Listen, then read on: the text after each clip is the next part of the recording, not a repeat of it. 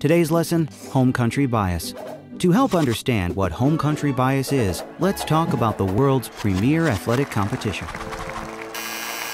Not that premier competition.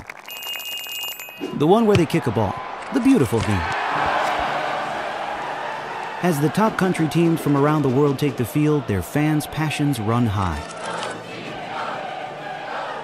Is cheering for your nation's team home country bias? Definitely. And supporting your team is the right thing to do, even when they're not always a winner. But what if you could build the world's ultimate soccer team? Chances are you would choose the best from around the world. You might even have a Canadian goalie. Or not.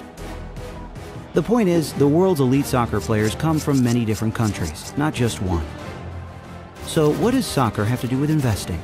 Turns out many investors are like soccer fans. Whether they're from Algeria or Argentina, their investments tend to hail from the same country they call home. But in reality, it only makes sense that the best companies like the best players are going to come from different countries. So as you draw up a strategy, to find the right mix of investments, maybe you need to consider adding more international players. So how do you start?